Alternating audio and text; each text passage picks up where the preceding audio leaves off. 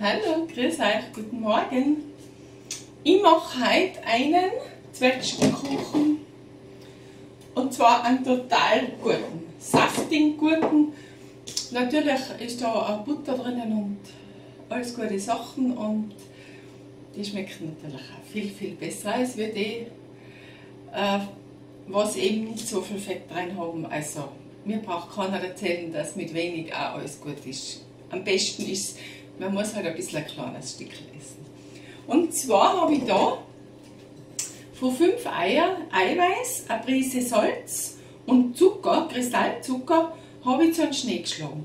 Bitte, wenn du einen Schnee schlagst, Salz kannst du dazu tun, die Prise, und dann in also weiß anschlagen lassen. Bitte tut es nicht den Zucker gleich dazu, das wird euch nichts. Und dann Löffel für Löffel dazu und dann wird es so ein wunderschöner Schnee. Den tun wir jetzt auf die Seite. Dann haben wir da die fünf Dotter drinnen. Da tun wir einen Stabzucker dazu. Nein, Entschuldigung. Das ist jetzt falsch. Entschuldigung. Das habe ich jetzt falsch, das müssen wir jetzt aufnehmen. Das habe ich jetzt da rein tun und das gehört aber nicht da rein. Wir müssen zuerst in Butter und in Zuckerschaum mitschlagen.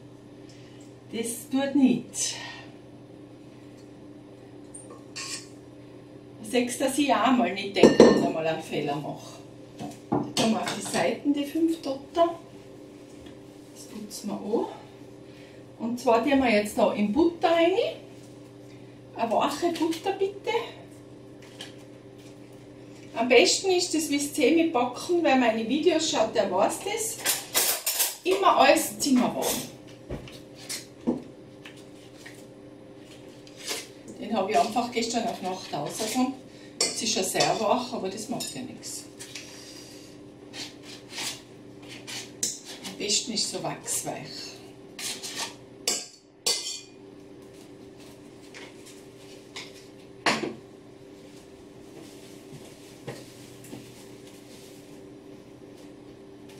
Butter und Stabzucker und Vanillezucker. Ich nehme über meinen selber gemachten her und wenn ihr den nicht habt, bitte einfach so ein Backel Vanillezucker dazu tun.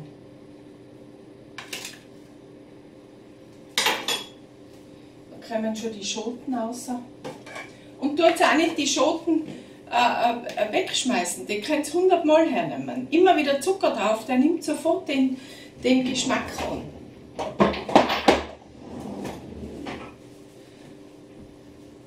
Und das tue ich jetzt ganz schaumig aufrühren. Und wenn es richtig schaumig ist, dann schalte ich die Kamera wieder ein, weil das dauert jetzt ein bisschen, bis es wirklich hell, richtig schön schaumig ist. Gell? Ich bin dann gleich wieder da.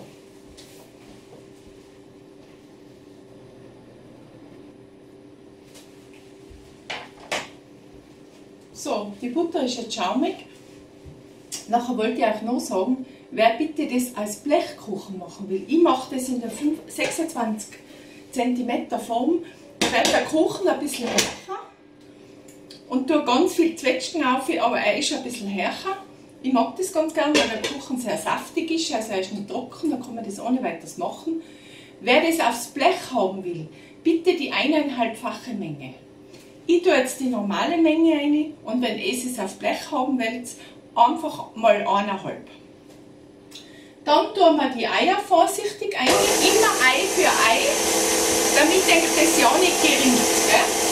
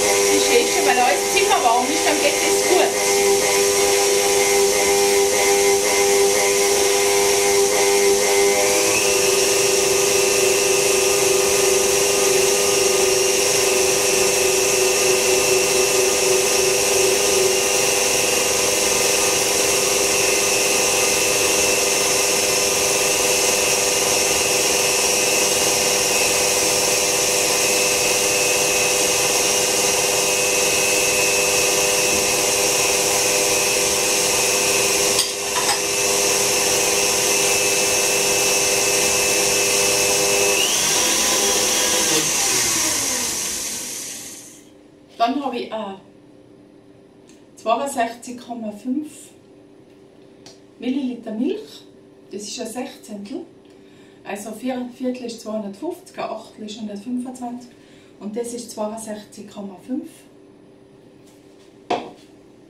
Allerdings ist das ein bisschen zu viel. Sehe ich gerade, da muss das Haferl nicht gerade gestanden sein. Jetzt.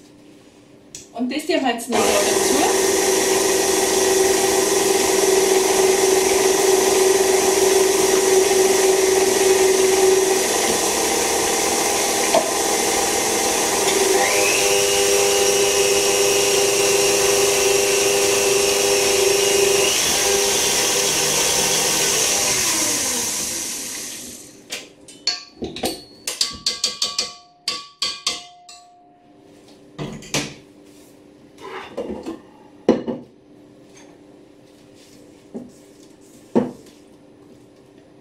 Das ist jetzt eine richtige schöne Buttermasse mit den Eiern. Und dann tun wir einen Teil vom Schnee relativ flott unterheben.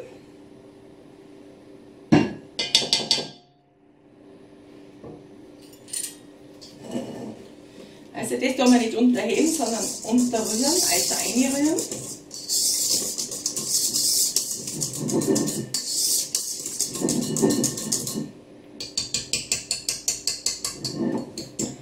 Den Rest, den tun wir vorsichtig unterheben und teils Mehl und teils und teils Schnee.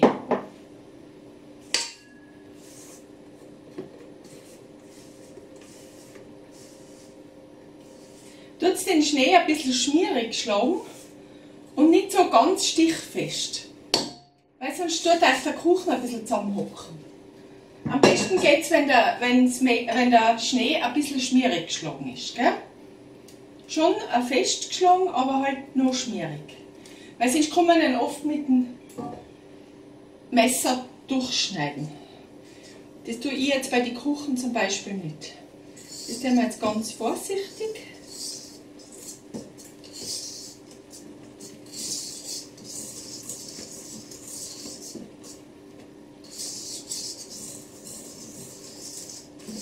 Da ist einfach schon die Kuchenmasse äh, einfach schon so schön, da sieht man schon, dass es ein richtiger guter Kuchen wird.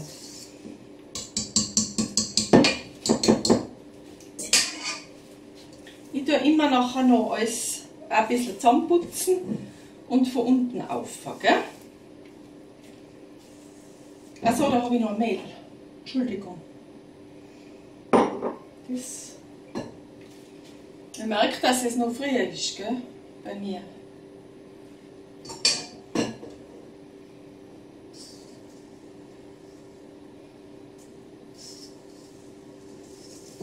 Weil natürlich muss die Masse ein bisschen fester sein, weil sonst sicken ja die Pflaumen neu.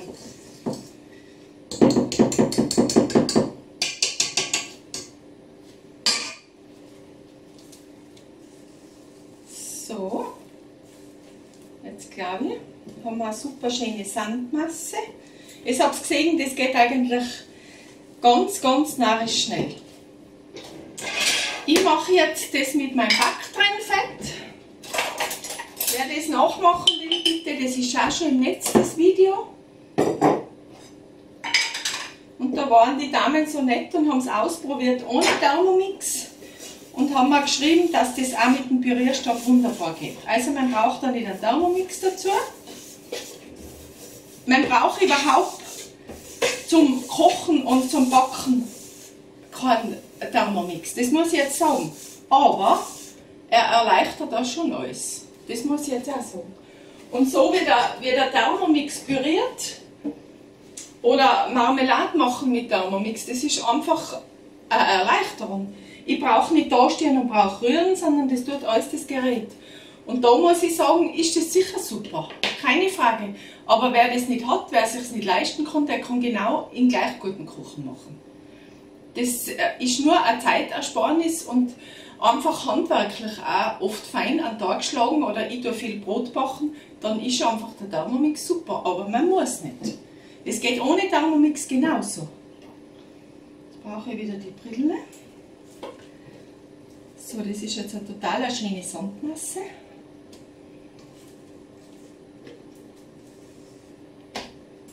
Den könnt ihr aber auch zum Beispiel, wenn es kein Obst habt und es möchtet mal so einen trockenen Kuchen, dann tut das, äh, nimmt die Masse her und tut es in eine Kastenform rein. Das ist überhaupt total wurscht. Das spielt keine Rolle. Nehmen wir das auf die Seite. Dann wasche ich mir nochmal die Hände. Dann tun wir die Winkelpalette raus. Da ist sie. Dann den einfach ein bisschen glatt streichen. Das Backrell habe ich auf 180 Grad Heißel, äh, Ober- und Unterhitze. Heute fällt ein bisschen bei mir, gell? Ich bin, glaube ich, noch nicht ganz munter. So. Und da tun wir jetzt ganz dicht die Zwetschgen auflegen. Ich tue das immer so, dass wirklich total viel Abstand ist. Weil das ist mir das Liebste. Ich hoffe, ich habe genug. Jetzt mal schauen.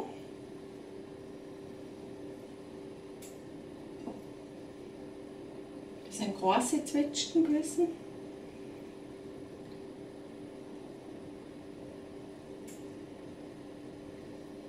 Das geht sich raus. Es ist so eng an eng dunkel.